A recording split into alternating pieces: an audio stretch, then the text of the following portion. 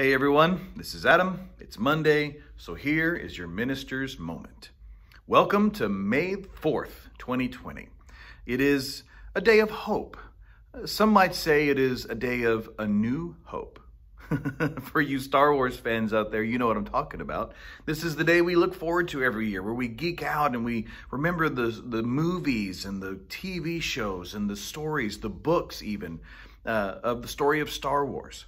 It is a story of hope. It is a story that inspires us to hold on in the dark times and in tough times and to persevere and, and build up our endurance and our character.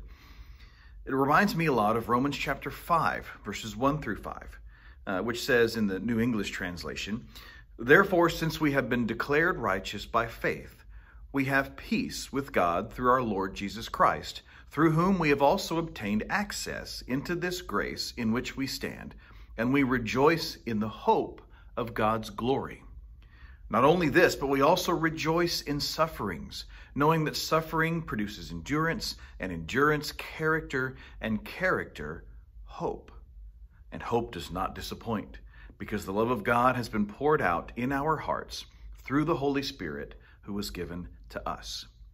You see, I, I like to think about the story of, of Star Wars and the, the tiny rebellion uh, fighting against the, the evil empire that seems to be everywhere and, and the, the David and Goliath type of story that that brings and how the little guy ends, always ends up triumphing in the end. And even though they do take some losses and, and, and some disappointments and things don't always go their way, it reminds me a lot of, of our lives, of, of, the stories in the Bible about how things don't always go the way the people in them expect them to go.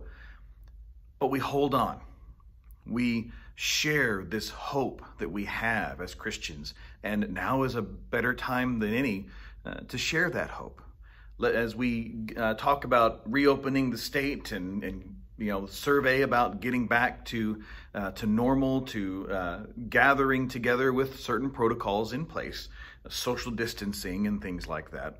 Uh, may we do our best to spread the hope that we have in jesus knowing that, that this world is not our home. It, it is just a, a place that we are for right now. And the ultimate goal is bringing as many people uh, into heaven with us to be with God.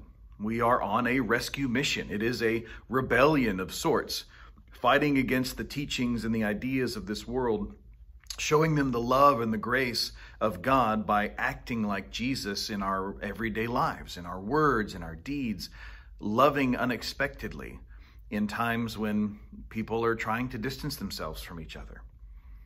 Let us do what we can to love, to forgive, to show mercy, to show benevolence, to reach out to the people around us and give each other hope.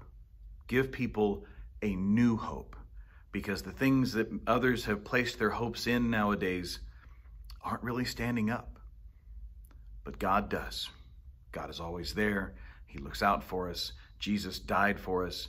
It is in that hope that we place our faith and we look forward to a brighter tomorrow. Thank you guys. Love you. See you next week.